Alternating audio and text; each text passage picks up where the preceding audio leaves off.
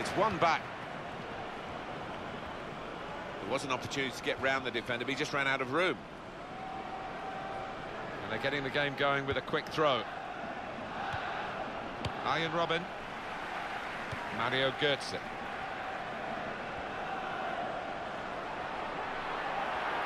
Good forward play from them.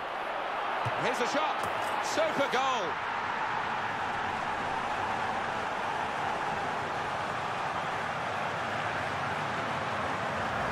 Well, it's a shot to nothing, but it's one of the best goals he'll ever score.